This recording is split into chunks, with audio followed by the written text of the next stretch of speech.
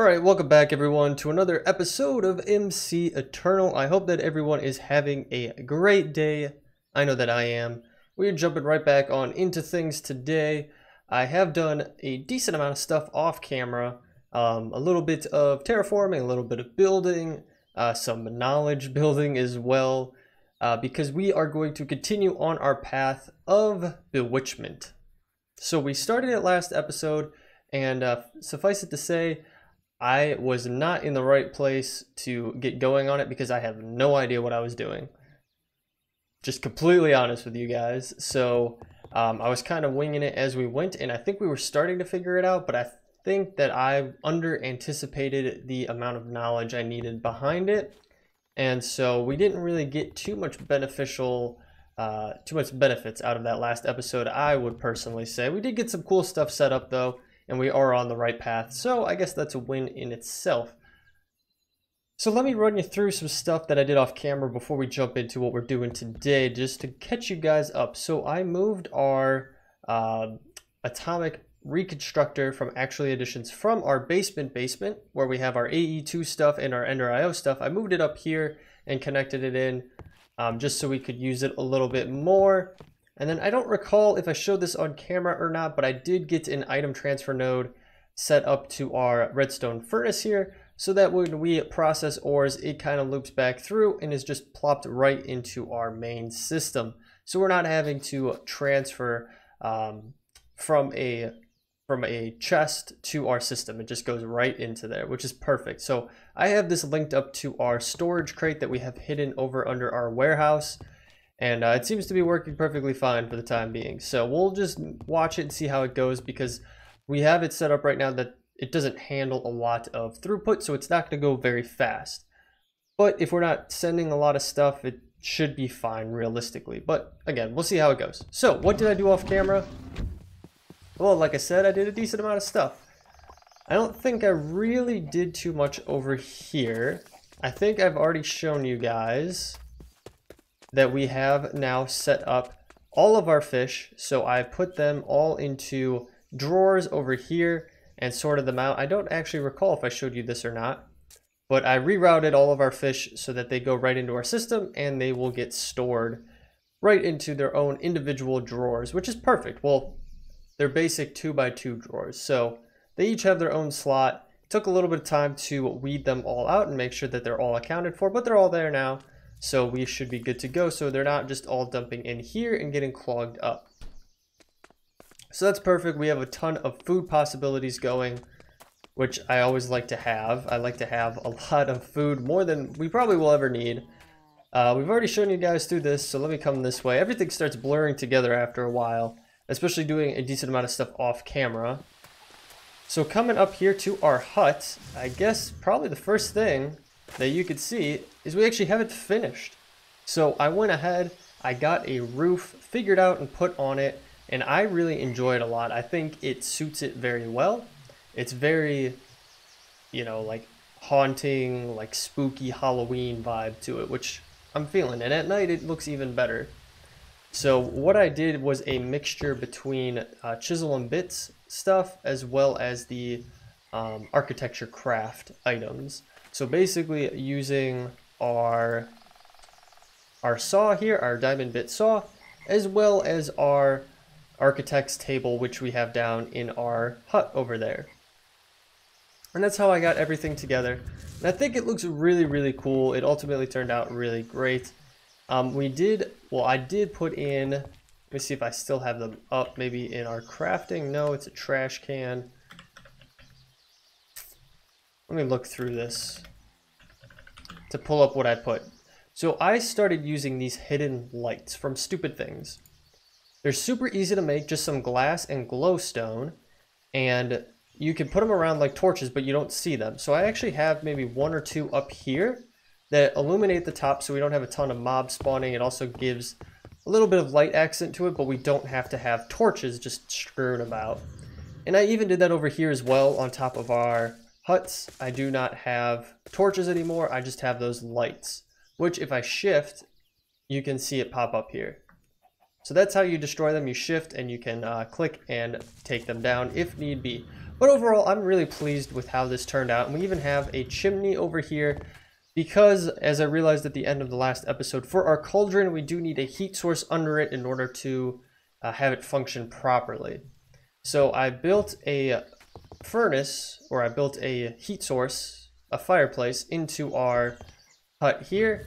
And I put a piece of netherrack at the top and lit that so it gives the good particle effects out the top. So it makes it look like it's always going. If we take a look inside, not much has changed other than obviously our big fireplace now. And I have it so we can step up here and we have our cauldron right here. So it's pretty easy. We can easily throw things in here, easily dump some water in there. It just, it ultimately works out very conveniently and we're going to be using this a decent amount today. I also crafted up a spinning wheel. This could be used to make some of the uh, wardrobes for Bewitchment. So if we take a look at Bewitchment, if I could spell Bewitchment. so I think some of the basic ones are like the cowl, the hat, etc, etc. And these bad boys, it looks like uh, you need witch's stitching, and in order to do that, you have to get that in the spinning wheel with liquid witchcraft. So you don't actually make the clothes in there, but you make the string to then you can make the clothes out of within the spinning wheel. So I've crafted one of those bad boys up just to get it set up in here because I knew we would need it at some point. And then what else did I do? Um, the other thing that I did notice was that these wither logs, even if you place them horizontally, because I've done this many times where we place them horizontally like that, some of them will shift back to being vertical again. I do not know why. There's no real rhyme or reason to them. Because as you can see, like some of them don't have moss on of them, some of them do, but they all ultimately shift back to being that position. I'm really not that sure as to why that happens. So just keep that in mind if you're using it as a building material, you might run into some issues around that. Um, I didn't do anything else downstairs. I'll take you downstairs so you can see, but it's all the same. Nothing different. So we're to hop back up here, and I'll show you outside, because that is where a brunt of the work was done. So we have our walkway back to here, and I shifted things, obviously, because now we have our fireplace that sticks out a little bit more. I have some water going around the outside of that. We have our farm set up with some of our bewitchment plants up and growing here. We have our altar here, and I made some nice pathways up through it and I terraformed this whole area down here because we're ultimately going to really want to utilize it. I terraformed it, put down a bunch of loamy grass blocks or loamy dirt, and uh, I even pushed it out this way a little bit. We need to get some more dirt and kind of have it spread more, but I figured that this whole hilltop here would kind of be our swampy biome, and uh, I think that will be a really nice add to have. So we can do a lot of those kind of uh, darker feeling mods up here, like Bewitchment or whatever may may suit the vibe for it. So, uh, but yes, like I said, we have our altar here, which you guys know from the last episode. I did craft this bad boy, a scorned brick Herne statue, Herne statue, I believe. I thought it looked badass and it really added to the aesthetic of our area here. Uh, it was pretty straightforward to make. You just need to obviously follow the correct recipes for it. So you need some scorned bricks and then a bottle of Hellfire, which you can get like so. The only thing that you might have a hard time finding is the Dragon's Blood resin. I believe I had picked some up in crates when I was looting at some point. So yeah, but he looks pretty cool. And then I took this hot spring water I had chilling out in my place and I just put it right here because this will give you regeneration. Um, and I feel like it really, again, just suited our whole vibe that we were going with here. So, but yeah, that was a lot of talking to kind of run through things. It was a lot of stuff that I did off camera. Here, I could even give you guys a little bit of a bird's eye view of what we're dealing with now. So really, this whole area up here is going to be our bog. And I've even actually uh, started putting a little bit of thought into what I want to do next and what I want to add. And I think eventually we're going to get into astral sorcery. I think it'd be really cool to have some kind of big hilltop mountain here and then have our altar on top. But there's a lot of caveats to that based on the mod and finding the correct spot where you want to have your altar and everything set up. So I'm not going to worry on that right now. But anywho, you guys aren't here for me to just keep blabbering on. We're going to get into more bewitchment stuff today, like I said. So if we take our Book of Shadows and we hop into it, there are many things that we could go over in here, which we sort of touched on in the last episode. Now, the biggest thing that we're going to get into today are the circle rites. So one of the core sects of witchcraft is that of the circle magic, that of circle magic, I should say, by drawing circles of certain sizes and colors, as well as offering certain uh, rea reagents, which can do nearly anything from changing time to summoning entities and more. So this is what we're going to want to use to actually get our crystal ball up and going. So if we remember, we were progressing down the path in our quests here. Where was it under? Magic? Right here. So under our magic tab, magic and spellcasting tab, we had a whole bewitchment area. And the next step was getting a crystal ball. Now, if we took a look at the recipe for a crystal ball, it was a little bit confusing. We needed a ritual of foresight, and we need glass, three uh, pieces of nether quartz, and a droplet of wisdom. We need starting power of 500 and a running power of 50.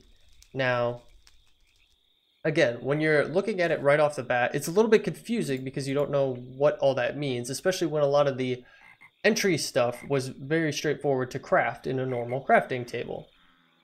So this obviously is what we're going to want to start with is our altar here. Make sure we have our altar up and running.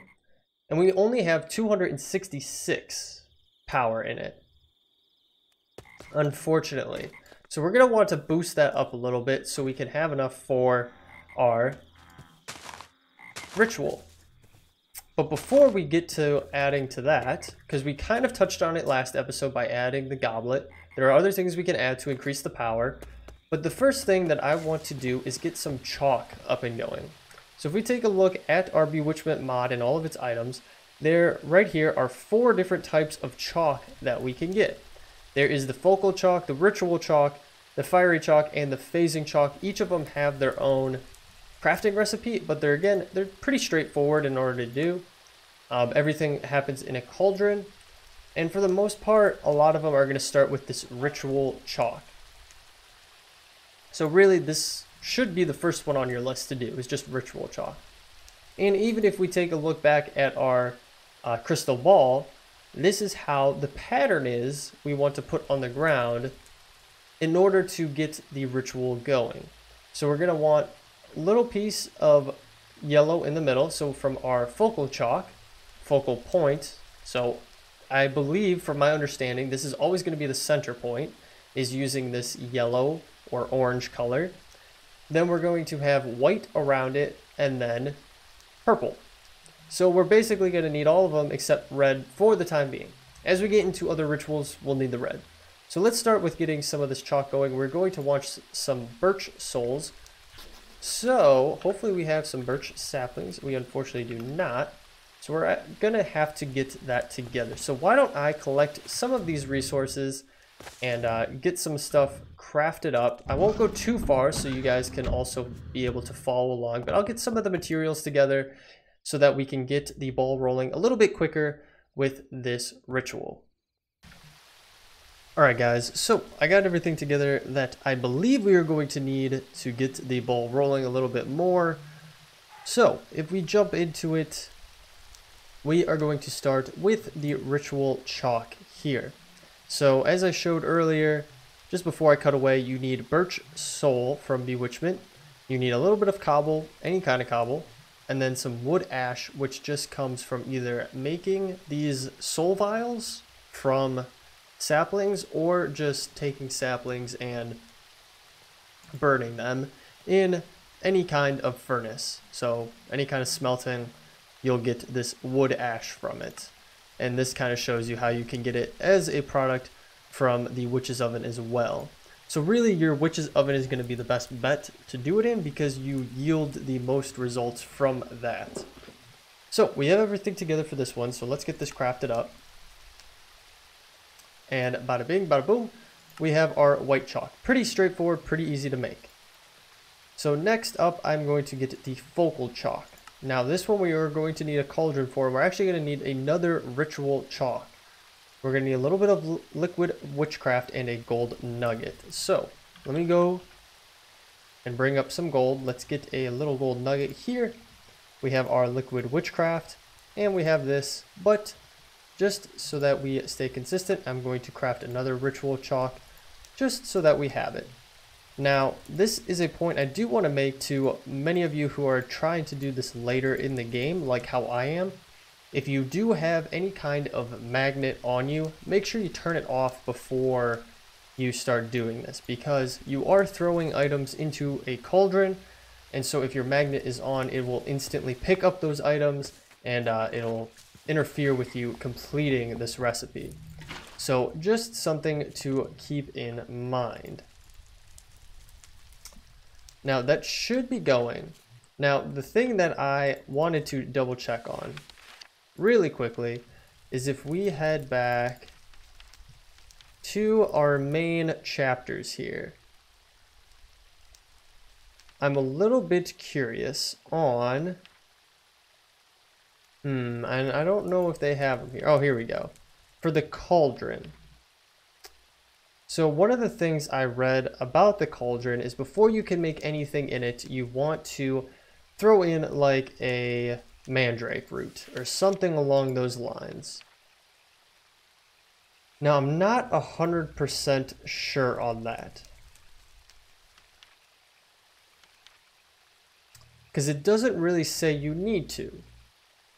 So, yeah. It doesn't say you really need to.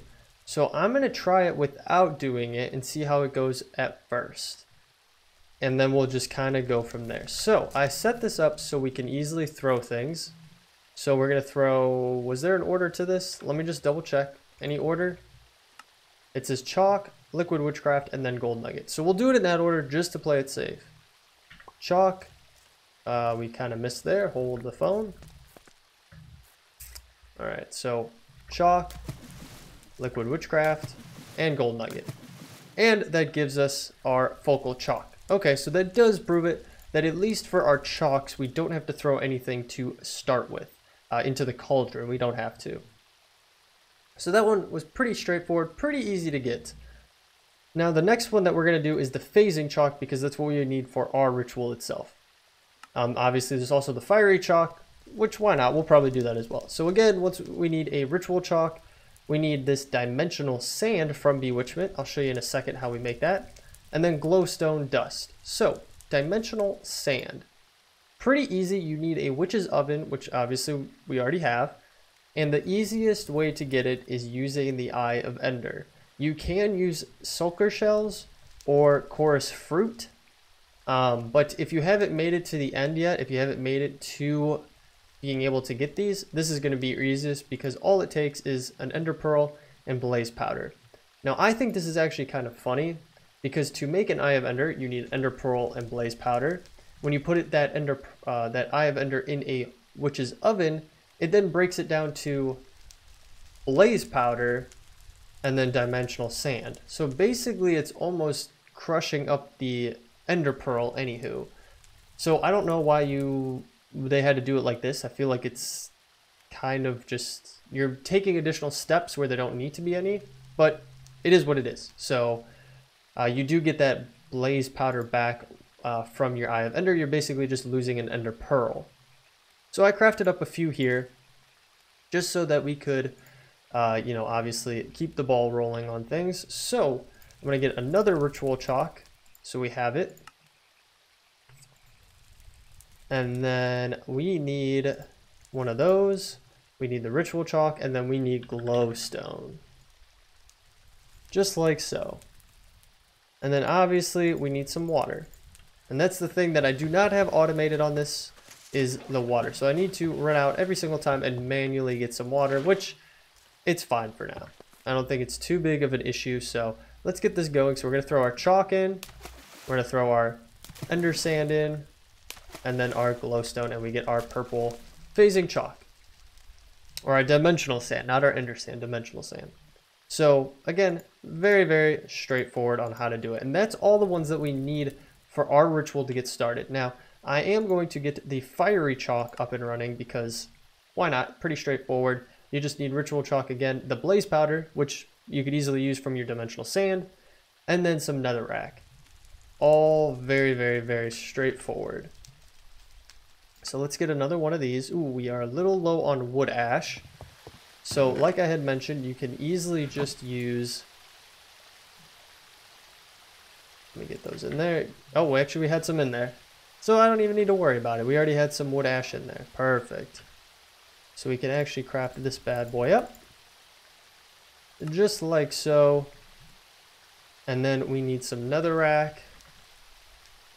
Just one piece. Think that was on the end. We need our chalk. And then we needed our blaze powder. Just like so. And we're going to need another bucket of water. So we'll grab that, put our bucket in, let it start boiling.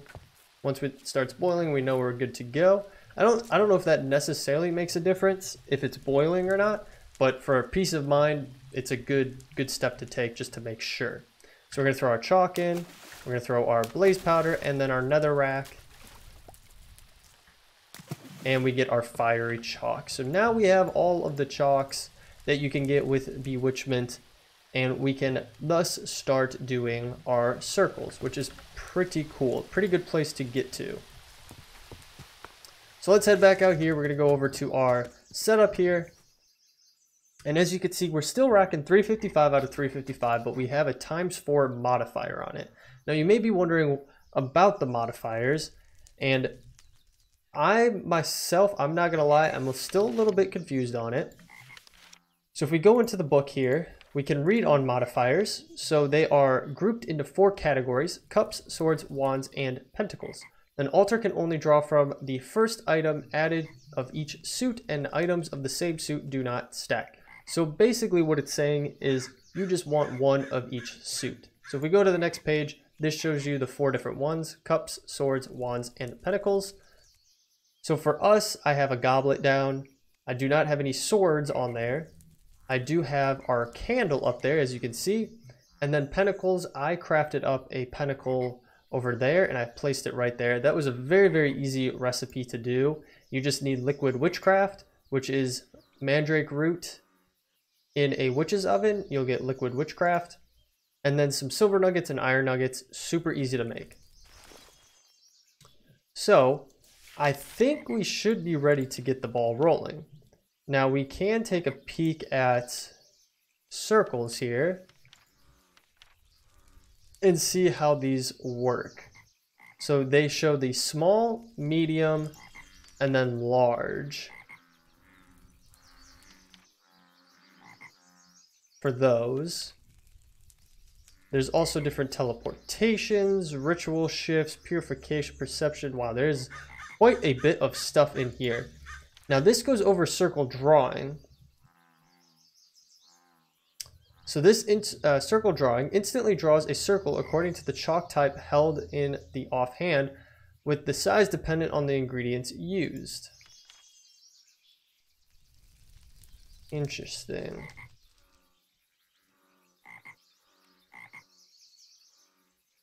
So as you can see, they get bigger then as you add more. Hmm. Well, let's let's try it this way. We're going to try it how it showed it to us for our crystal ball setup.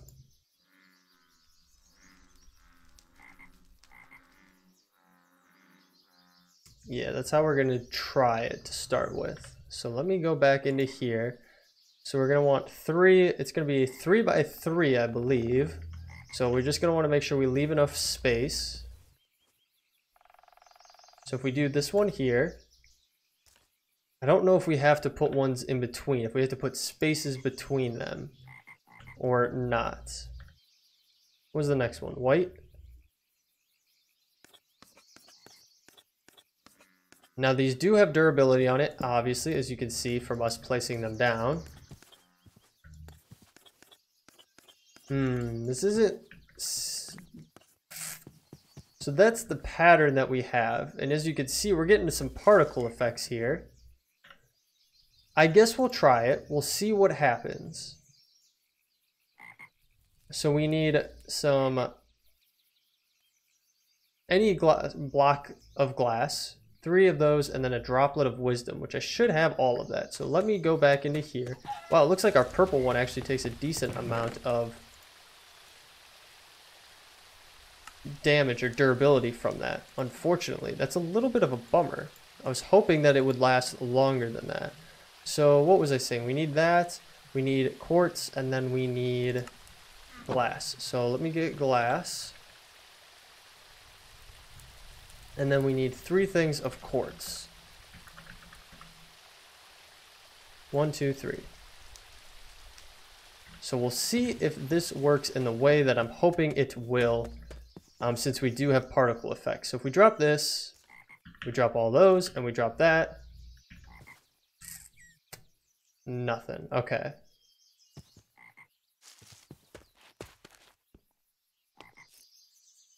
Maybe it's because we don't have enough power.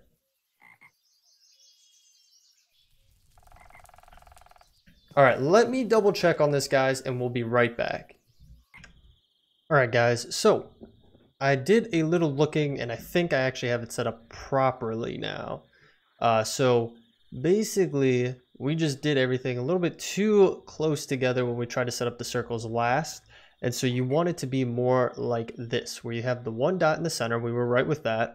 And then you have a ring outside and then another ring outside of that, but spaced apart. So it's actually a circle rather than just a cube or a square.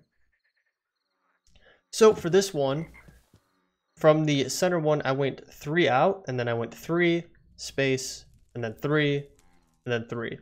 So basically, it's almost like a, what is it, seven, right? It'd be like a seven by seven, but you just cut off the corners like so. And then the next one out from that is only one space, like so and you're basically trying to leave about a one space gap between the whole entire thing. So basically it went one here in the middle, two gap, three wide, one gap, five wide. So a little bit confusing. You basically are adding two every time you go out, but that's how I think it needs to be set up. So we're going to try it now. Um, I also did a little poking around for our altar, I have it up to 563 power now, which should be enough for what we need to do. And I did that by adding in more trees. Now we can get rid of this. We don't need this. I just use that to show you guys our circle here. But I added a bunch of these dragon's blood wood trees in, as you can tell. And they actually kind of suit the vibe up here. But as I was reading the altar that we have, the power increases not necessarily by the modifiers, but the amount of plants. So I was a little bit confused on it, which is fine. I'm, I'm correcting myself now. So the modifiers do help, but the best way to get your power is from plants. So just having tons and tons and tons of plants and trees around it. It doesn't matter if it is Minecraft or modded, any kind of mod. It doesn't have to be from Bewitchment. Obviously, we have a lot of Bewitchment modded plants around here, but they just want plants in general. So the more plants you have around, the better power it is going to get. And the bigger diversity of those plants, the better the power as well. So if you just have a ton of, let's say, these mandrake seeds or these mandrake uh, plants all over the place, you're not going to get as much power as if you had a mandrake, you had a hellebore, you had a wormwood, you had roses, you had pumpkins, you had melons, you had this tree, you had that tree. That is where you get your power. So yeah, so I added a couple of those in, and I think it still looks fine. I don't think it, it takes away too much from the aesthetic we're trying to go for. It's not really the exact bog feel I'm feeling, but in order for this to work properly, that's how we have to have it set up. So maybe I'll add some vines to them to just kind of tie them in a little bit better, but I think for the time being, we are at a good spot with those. But anywho, so let's try this out. We should have it set up right. So if we just throw things into the middle, so um, let me try to do it in the correct order as it said here. So glass, then the three quartz, and then that. So glass, and then one, two, three, and then this bad boy. Now don't, you have not heard of such rites. Hmm. Interesting.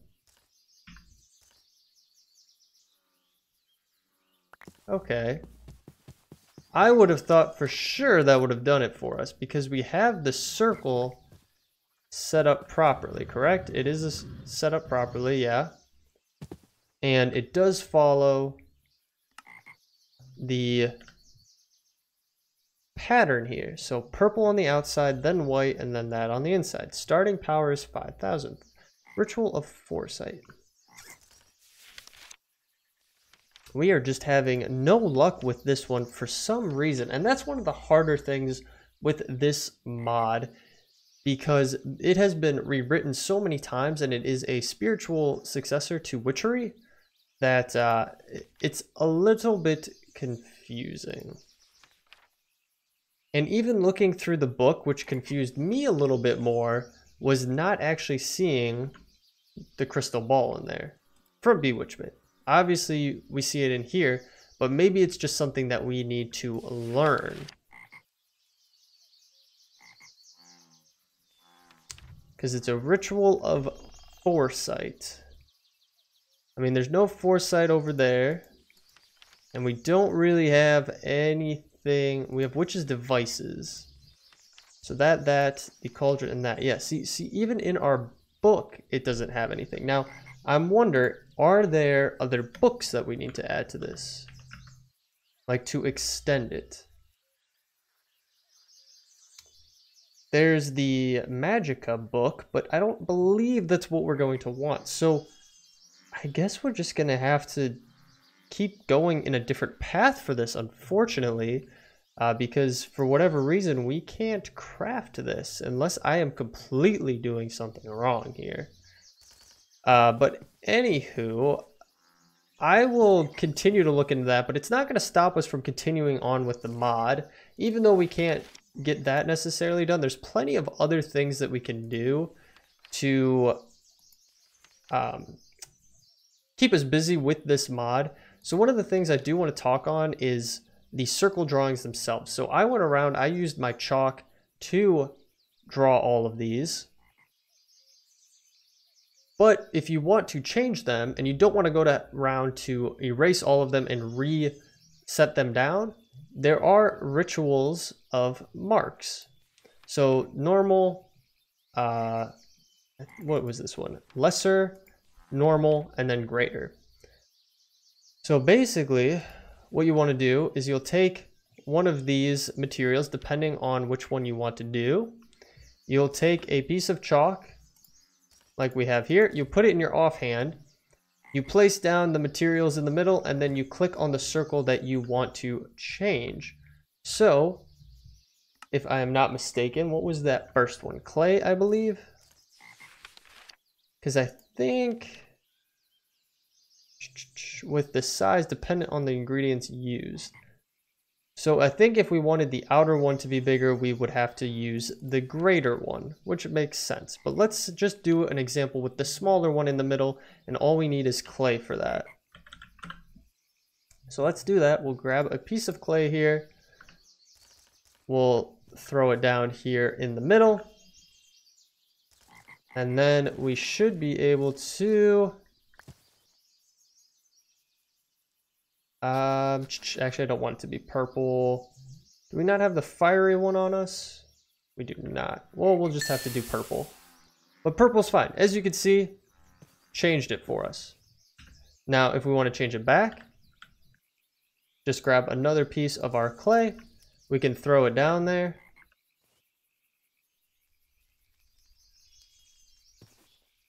And it's kind of interesting. I'm curious I noticed just a second ago it started floating around in a circle and I didn't know if it would do it again. It doesn't seem like it. But if I click on this again, I've not heard of such rites. Hmm. Interesting. I don't know what I'm necessarily doing wrong here then. Okay. Ah, hold the phone here. Maybe we figured this out. Okay. So I think maybe instead of dropping, I just need to click on it. Okay, so I've, i guess I've been thinking about this all wrong. So let's try this. Glass, three quartz, and then this. And then if we, let me take this off of my hand and we click on it. It's doing something and it did nothing. Wah, wah. Okay. It did use up some of our power, but maybe... Let's give it a go one more time. Just out of curiosity, okay? We'll see how it goes because you can see our power decreased a bunch. And it's still unfortunately not kicking us out enough. So I don't know if we don't have enough power or what is going on with it. Hmm. That is quite particular. But yeah, if we wanted to do the second ring, we need clay and wood ash, and then the outer ring is two clay and two wood ash. So I think we've pretty much figured it out. So let me just sum it up real quick for you guys. This is how we want to get our circles going like so. You saw how to make all of the different chalks. If you want to switch these circles, I've shown you how to do those quick changes using those few, uh, those few materials so you can easily change them. When you do want to change them, you need to click the item onto the center ritual focal point, and that'll change it for you. We've gone over the uh, altar and how to give it more power through having plants and trees and everything around it, as well as the modifiers to help boost that power, and I believe the range as well. So obviously we don't have to have this right next to it.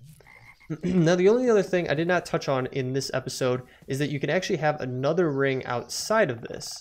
So there is a four, a third ring, I guess you could say, because the middle one isn't really a ring, it's a point. So you have your first ring, your second ring, and then there is actually a third ring that can go on the outside. So, but we just don't need that right now. We're still starting off. So, but yeah, I think that is a good place to stop at.